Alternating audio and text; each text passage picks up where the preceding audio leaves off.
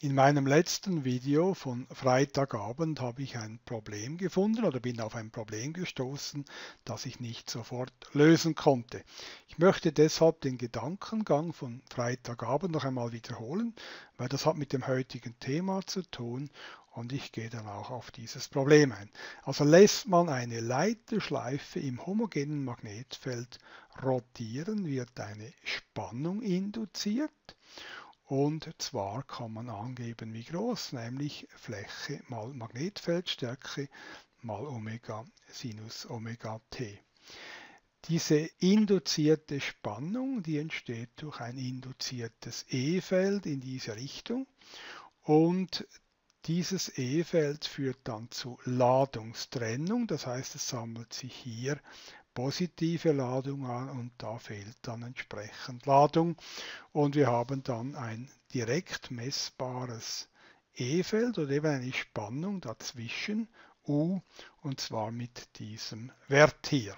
Jetzt lassen wir einen Strom durchfließen, das heißt wir drücken jetzt einen Strom durch und zwar fließt dieser Strom von außen gesehen den Berg hinunter Intern hat das nichts mehr mit einem Berg zu tun, das habe ich ja auch schon gezeigt.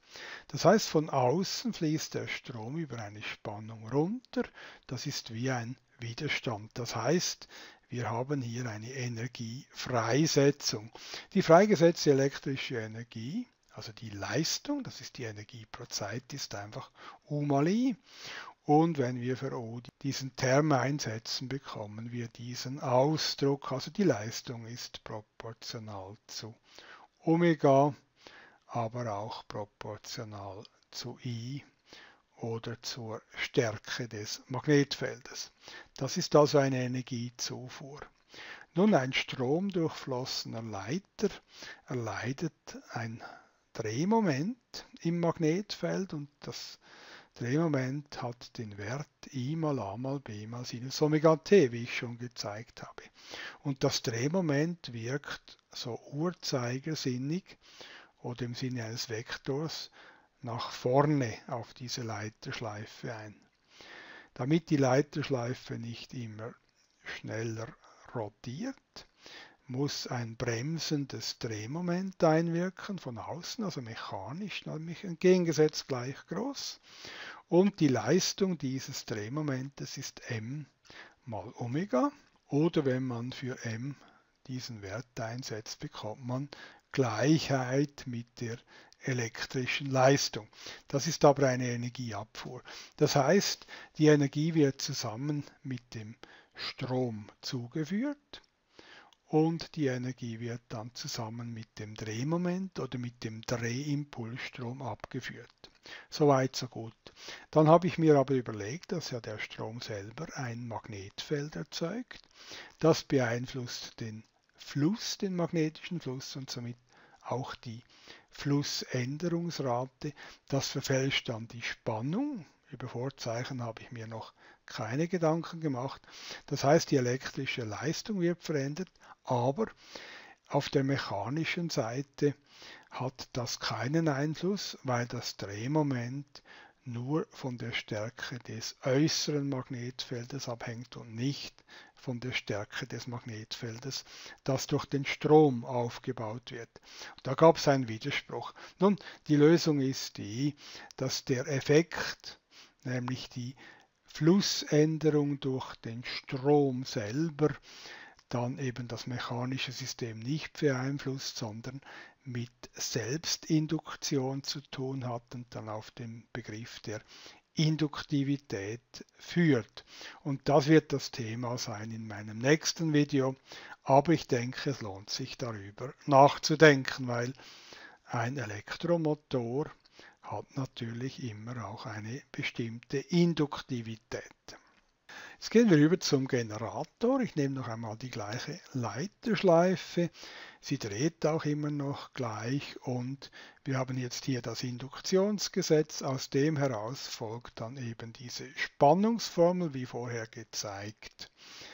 Und diese induzierte Spannung beruht auf einem induzierten E-Feld, das so wirbelförmig sich ausbildet.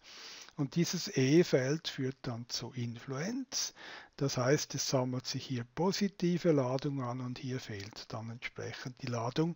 Und wir haben dann hier das E-Feld zwischen diesen beiden Teilen, das man als Spannung oder über die Spannung direkt messen kann. Nun schließen wir diesen Schalter und dem Moment treibt diese Spannung einen Strom durch den Widerstand. Das heißt, das wird jetzt wirklich zu einem Generator und wir können die Leistung rechnen, U mal I. Oder I ist ja U durch R, also haben wir U Quadrat durch R. Wenn wir jetzt für U diesen Wert einsetzen, Vorzeichen fällt E weg, dann haben wir hier diese Leistung. Das heißt, die Leistung geht quadratisch mit Omega und die Leistung geht mit Sinus Omega t im Quadrat. Das heißt, die Leistung ist immer positiv.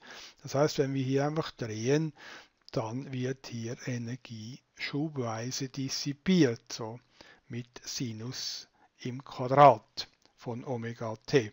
Der umlaufende Strom erzeugt jetzt ein magnetisches Dipolmoment oder dem umlaufenden Strom kann man ein magnetisches Dipolmoment zuordnen, nämlich nach der rechten Handregel. Das Dipolmoment ist ein Vektor und der Betrag davon ist Fläche a, also dieser Vektor mal Stärke von i. Und dieses Dipolmoment ist dann kompakt gesprochen verantwortlich für ein mechanisches Drehmoment. Das Drehmoment ist Dipolmoment Kreuz B, dann kann man das auswerten. Dipolmoment Kreuz B, das gibt einen magnetischen, ein magnetisches Drehmoment auf die Schleife nach hinten. Also gerade umgekehrt wie vorher, der Strom fließt ja auch in die umgekehrte Richtung. Dann müssen wir mit einem Drehmoment nach vorne dafür sorgen, dass die Schleife im Gleichgewicht bleibt. Und dieses Drehmoment, das wir dann anlegen müssen, das hat eine positive Leistung und zwar m mal Omega, wobei m ist gleich i mal a mal b mal Sinus Omega t. Das können wir hier einsetzen und dann haben wir den gleichen Wert wieder oben und wenn wir natürlich dann i noch ersetzen durch u und r und u von hier übernehmen, haben wir wirklich die identische Leistungsformel. Ich habe jetzt die Kausalität ein bisschen umgedreht. Eigentlich hat man die Situation mit Widerstand und man dreht hier das heißt, dieses Drehmoment ist eigentlich primär verantwortlich, dass die Maschine läuft. Dann haben wir einen Energiezufluss über das Drehmoment oder eben zusammen mit dem Drehimpulsstrom und wir haben dann einen Energieabfluss über diese Leitung zum Widerstand, wo dann die Energie dissipiert wird.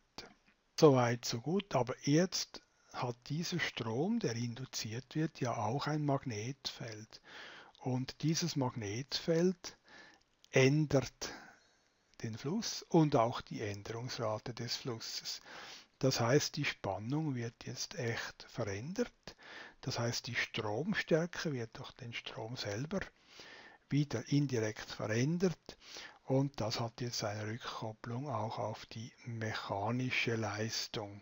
Denn in diesem Fall ist ja nicht der Strom konstant, sondern der Strom ist ja Folge der Spannung und die Spannung ist dann ja eine Folge auch der korrigierten Flussänderung. Also in diesem Beispiel kann man den Effekt natürlich direkt erklären, nämlich der Effekt, dass der induzierte Strom dann eben der Flussänderung entgegenwirkt und somit zu verminderter Leistung führt gegenüber der Betrachtungsweise, wenn man eben das Magnetfeld des Stromes nicht berücksichtigt.